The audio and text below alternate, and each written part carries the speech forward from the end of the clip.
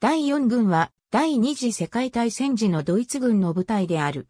1938年12月1日、第4軍はギュンター・フォン・クルーゲ大将のもと設立され、1939年9月、ドイツ国防軍によるポーランド侵攻作戦において、初動、中央軍集団に所属した。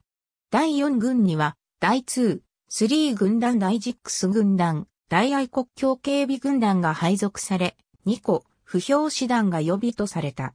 第4軍は、ドイツ国境から東プロイセンを目指し、ポーランド回廊を占領する任務を与えられた。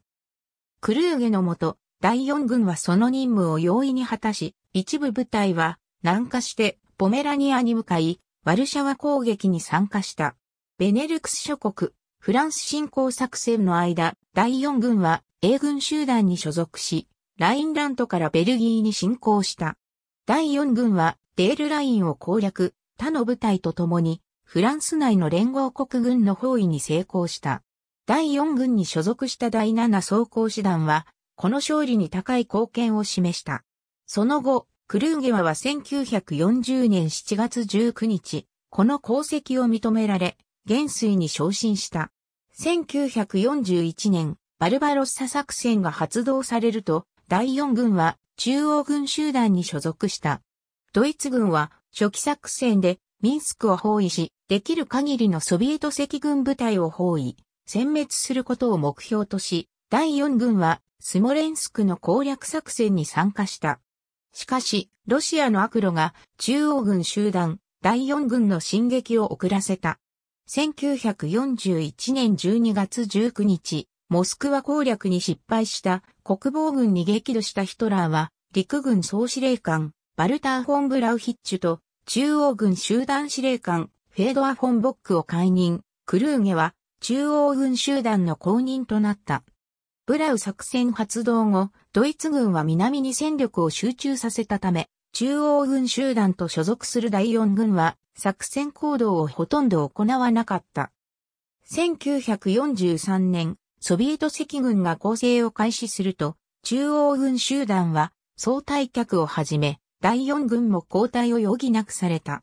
1943年秋、赤軍がスオロフ作戦を発動させると、第4軍はボルシャ、ビチェプスクまで退却した。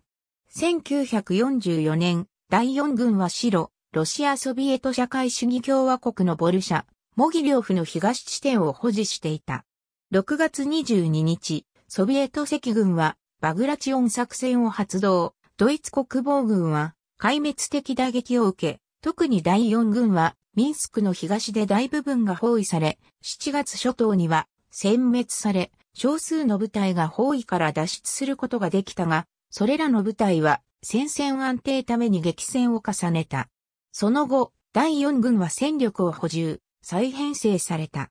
1944から45年の間、第4軍はフリードリヒ・ホスバッハの指揮のもと、東プロイセンで戦った。1月13日、東プロイセンのソビエト赤軍は攻勢を開始、第4軍は2週間もの間、バルト海沿岸へ押され、包囲の危機に瀕した。中央軍集団司令官、ゲオルク・ハンスラインハルトとホスバッハは、包囲を逃れるために、エルビング方面へ退却を試みた。